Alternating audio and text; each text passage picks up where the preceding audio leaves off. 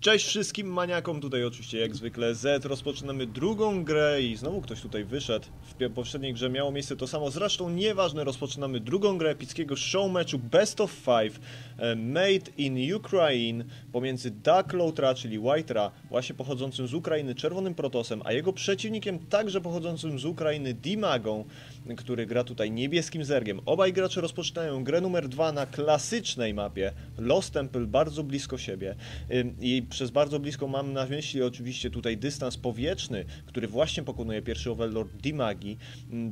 Dystans naziemny jest dosyć duży tutaj, jeśli zauważycie, do rampy swojego przeciwnika. Obaj gracze mają bardzo, bardzo daleko i może tutaj troszeczkę to być na korzyść Zerga, który stara się skautować swojego przeciwnika. No i zaraz zobaczymy, zobaczy ten Nexus, czy zawróci swojego Overlorda. Overlordy mają większy zasięg niż, e, niż e, budynki i dopiero teraz ten Overlord wchodzi, więc jednak nie Dimaga odkryje się od razu swojemu przeciwnikowi, który w tym momencie już dokładnie wie, gdzie ma jechać. Zauważył tego Overlorda, który był z innej lokalizacji, nie byłby w stanie tak szybko przylecieć. No i już dokładnie wie, gdzie znajduje się jego przeciwnik. Jedyne, co pozostaje teraz e, Whitera, to zauważyć, zobaczyć, co tutaj, co tutaj Dimaga mu szykuje. W pierwszej grze widzieliśmy, widzieliśmy bardzo szybki Baneling Bust z jednej bazy mm, i, i Whitera, no, no niestety musiał poddać się temu temu szybkiemu atakowi, zwłaszcza, że wchodził bardzo szybkiego Stargate'a, to był One Gate, Stargate, bardzo szybki. Interesująca taktyka na Scrap Station właśnie, te bardzo szybki Void. W każdym razie, no zobaczymy, co będzie się działo na, e, tutaj na, na mapie Lost Temple. Dimaga może decydować się na szybką ekspansję, chociażby ze względu na to, że jest ona mm, odrobinę prosta do obronienia. Mm, no i jak, jeśli chodzi o ten cliff, to grając przeciwko Terranowi, Zerk może się spodziewać chociażby tor dropów, czyli tor shipa, który by atakował tutaj jego ekspansję, jest to bardzo, bardzo groźne. Jednakże jeśli chodzi o Protosa, jednostki, które są w stanie tutaj wejść na, mm, na ten cliff są dostępne dopiero od Robotics Facility, mam na myśli tutaj oczywiście Warp Prismy, które mogłyby zrzucać tutaj jednostki, jak i mm, Kolosusy, do których trzeba oczywiście dostawić dodatkowy budynek, które są w stanie wejść tutaj, więc ta, ta, ta strefa e, musi być broniona przez Zerga, żeby kolosy nie były w stanie tutaj wskoczyć i atakować, zwłaszcza z Extended Thermal Lens. Ducklow Dry, jak na razie Whitera oczywiście, e, robi Cybernetic Score na swoim, e, na swoim przejściu tutaj, przy tej swojej rampie, no i za chwilę będzie, będzie w stanie postawić tutaj tego pierwszego zelota, żeby kompletnie to wejście zablokować. Zastanawiam się, co widzi Dimaga. Dimaga jak na razie widzi oczywiście te oba budynki widzi tutaj, nie widzi, że jego przeciwnik, że jego przeciwnik zabra, e, złapał tutaj oba gazy, jak zauważycie tutaj, o, nie widzi tutaj tych obu gazów i ten drugi bardzo szybki gaz może nam sugerować jakiś rodzaj wejścia w tech i Manner Pylon w naturalu, w naturalu Dimagi troszeczkę opóźni tutaj tą ekspansję jedynie o kilkanaście sekund, myślę. No i mamy już tutaj Queena, ten probe niestety nie będzie w stanie, nie będzie w stanie probować niczego więcej już w swoim życiu, ponieważ zostanie on ubity bardzo, bardzo szybko, posiada jedynie 10 życia. No i niestety, niestety. W każdym razie Dimaga ma dosyć dużą ilość dronów, jak na razie jest ich 18, kontra 22 proby, w momencie, w którym oczywiście decyduje się na szybką ekspansję, no to tych dronek troszeczkę musi, troszeczkę musi tutaj ukrócić tą budowę właśnie po to, żeby zebrać te 300 minerałów. Jest tutaj odrobinę do tyłu, no i zobaczymy, czy będzie decydował się na agresję. Wygląda na to, że nie, jego, jego zergingi nie mają jeszcze speeda, jak na razie w ogóle nie wymyśla tego upgrade'u, ponieważ w ogóle nie ma gazu dopiero teraz stawia pierwszą gazownię. Whitera tymczasem już zbiera z obu gazowni naraz, no i zobaczymy, buduje tutaj kolejny gateway. Jak na razie nie widać nic interesującego w sensie y, jakiejś, jakiejś dziwacznej technologii oczywiście. E, Mamy tutaj także kolejny gateway. Bardzo fajnie podoba mi się, że pierwszy Sentry jest budowany, wydaje właśnie ten gaz. Budując dużą ilość Sentry jest w stanie, jest w stanie nazbierać troszeczkę minerałów tylko po to, żeby rzucić kolejne gateway. No i zobaczymy, uwaga, jest, musi troszeczkę tutaj uważać Whitera, ponieważ jest tutaj jeden Stalker, który troszeczkę za bardzo się na, zapuścił. Gdyby te zergingi miały już wymyślony speed, no to ten Stalker w ogóle by nie przeżył, jednakże e, spokojnie będzie w stanie ze swoją, swoją prędkością 2,95 uciec przed zergami, e, zergingami, które mają dokładnie taką samą prędkość. No i zobaczymy, jeden Zelot z Sentry oraz Stalker klasyczne otwarcie Protosa, który bierze, e, robi po jednej jednostce naraz, e, tylko po to, żeby być bezpiecznym z każdej strony, może sobie rzucać force fieldy, może atakować e, roache, może atakować zerglingi, może robić cokolwiek. Zerglingów jest tutaj naprawdę bardzo duża ilość Dimaga, jeśli spojrzymy na ilość dronów, no dopiero teraz tutaj wyrównał się z Protosem.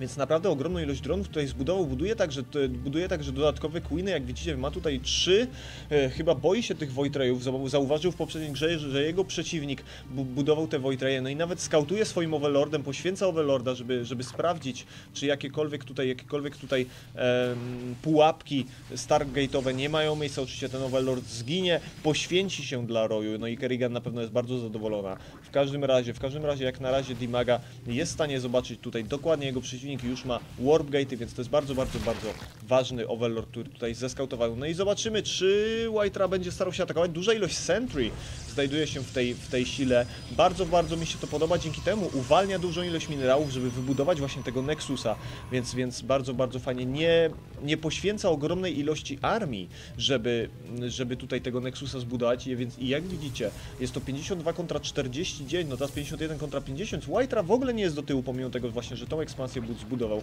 Dimaga tymczasem wydaje ogromną ilość e, minerałów na te trzy Spinecrawlery, naprawdę, naprawdę dużo.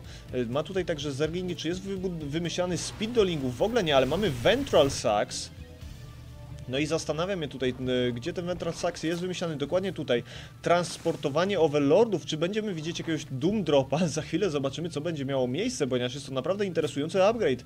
E, Żeby wymyślać go w tak wczesnej fazie gry, Dimaga musi na pewno mieć jakiś plan, jednakże Duckloadra, czyli Whitera, decyduje się, decyduje się na bardzo szybki atak. No i zaraz zobaczymy, co będzie miało miejsce. Jest tutaj front pylon, dzięki któremu będzie w stanie warpować, czy warpować jednostki ze swoich trzech warp gate'ów. Mamy tutaj taki rodzaj free gate pusha połączonego z ekspansją i Whitera, mm, wypuściwszy się tutaj troszeczkę do przodu, wywiera presję na swojego przeciwnika, ale jednocześnie cofa się tutaj e, także do tyłu. No i zobaczymy troszeczkę, troszeczkę zbyt do przodu. Mamy tutaj już 5 spine crawlerów. I, no i Dimaga jak na razie broni się dosyć dobrze. Zaraz zobaczymy, za chwilę będzie skończony ten upgrade e, na, na transportowanie overlordów. Oczywiście overy dalej są wolne, więc zastanawiam się właśnie, no, na co Dimaga będzie się tutaj decydował. Jak na razie musi się bronić. Whitera cały czas wywiera presję. Jest to bardzo ważny aspekt gry przeciwko Zergowi. Trzeba wywierać na niego właśnie tą presję, e, tylko po to, żeby zamiast dużej ilości dronów budował właśnie jednostki bojowe, żeby nie, nie, nie dronował tak, tak e, twardo, żeby czuł właśnie ten nacisk na, na swoją ekonomię. E, Nacisk oczywiście pośredni, ponieważ nie jest to, nie jest to taki dokładny haras chociażby linii minerałów. W każdym razie Spire Dimagi jest już gotowy. Mamy tutaj budujący się w bazie, e, w bazie Whitera gdzieś tutaj Forge oraz Twilight Council. Forge oczywiście plus jeden, chociażby oczywiście i kanony będzie można tutaj budować. E, Twilight Council Blink oraz Charge, no to, to, to, to nawet nie trzeba mówić, jak ważne są te upgrade'y w późniejszych fazach gry.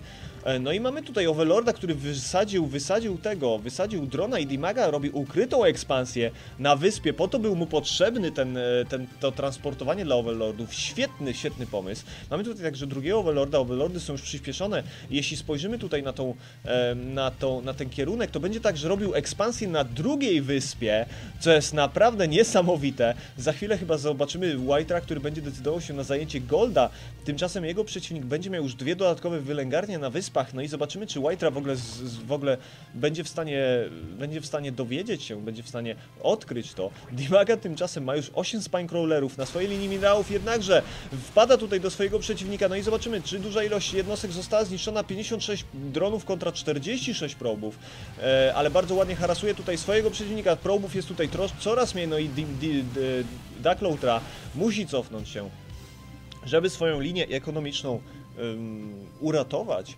No i teraz pytanie brzmi, zauważywszy te proby, co zrobi tutaj Whitera? Bardzo podoba mi się, że wymyśla Blink, bardzo ważny upgrade, jeśli chodzi o obronę przeciwko, przeciwko właśnie takim harasowanym, muta, harasującym mutaliskom. Także plus jeden jest już prawie skończony, naprawdę bardzo ważne upgrade, plus jeden na atak jednostek latających Zerga także.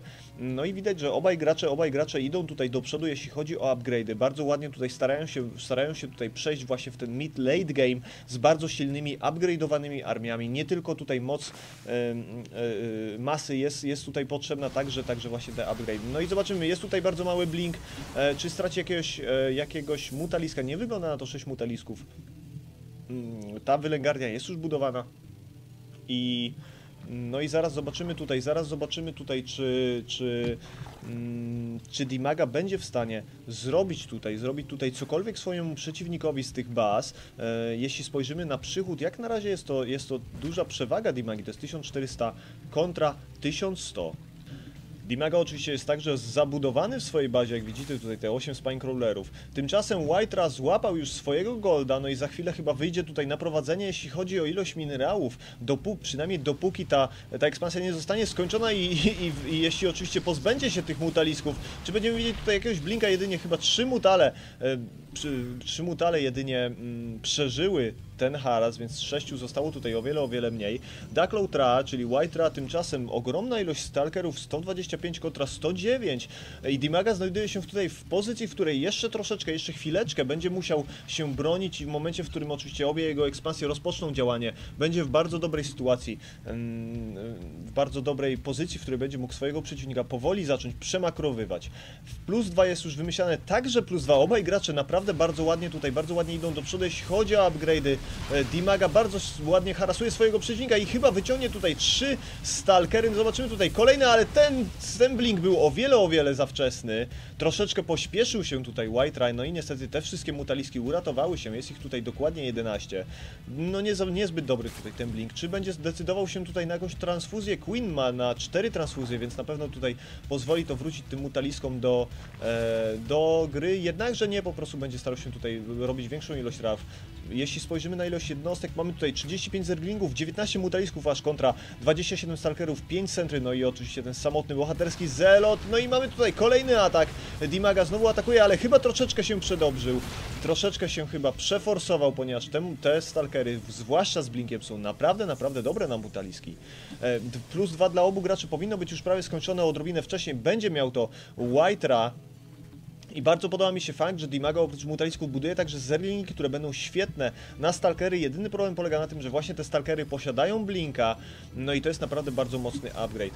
E, jest tutaj także budowane, budowane kolejne gatewaye, czyżby Czyżby także budował, e, nie, nie widać tutaj e, Robotics Support Bay, czy może jeszcze, czy może została już zbudowana, nie wygląda na to. E, bardzo fajnie trzyma tutaj tą dużą ilość stalkerów, także centry, dzięki którym będzie w stanie zablokować tą część, dzięki czemu nie będzie tutaj, nie będzie tutaj zbytnio mm, musiał obawiać się chociażby dużej ilości zerglingów. Ta mapa, ta wylęgarnia jest już skończona, także 2, 3, 4 spinecrawlery dodatkowo są tutaj budowane, więc naprawdę, naprawdę boi się tutaj. No i czy będziemy mieli kolejny haras? Chyba tak mamy tutaj dosyć dużą ilość właśnie tych mutali. Lair jest już mon montowany w Hive'a, przez montowany mam na myśli morfowany. No i zobaczymy kolejny blink, bardzo dobry blink. Tutaj e, dwie salwy w stronę tych mutalisków skutecznie odstraszają je. No i mamy tutaj także plus 2, plus 2 na jednostki e, naziemne, które, które oczywiście gryzą z bliska. Jak widzicie te zerglingi są już plus 1, plus 1, mają speeda. E, czy będzie wymyślany także Adrenal Gland, bardzo ważny upgrade, zwłaszcza w StarCraftie 1. Ten upgrade to był po prostu, po prostu bardzo ważny. No i mamy tu, mamy tutaj miejsce atak, czy będzie w stanie Dimaga się obronić. Tutaj wrzuca nawet swoje, e, swoje drony do obrony e, tej ekspansji. Ten Queen także mógłby chyba tutaj troszeczkę zaatakować. No i chyba spokojnie tutaj tymi trzema, trzymi trzema spinecrawlerami się obroni, chociaż może będzie, może będzie miał dosyć duży problem. Dwa stalkery zostały zniszczone. Jeszcze stara się tutaj blinkować kolejne stalkery, a ogromna ilość zerglingów w tym momencie. Oj, jeszcze starał się chyba tutaj zblinkować do tyłu, ale w ogóle mu się tutaj to nie udało. No i bardzo mała ilość stalkerów znajduje się tutaj i nagle, pomimo tego, że ta ekspansja była atakowana, to teraz ta e, ekspansja Whitera jest w niebezpieczeństwie, duża ilość stalkerów została zniszczona. Jeśli spojrzymy na, na wyniki, to jest 148 kontra 161 i nagle Dimaga zaczyna wysuwać się do przodu, ten haras naprawdę mu tutaj pomaga.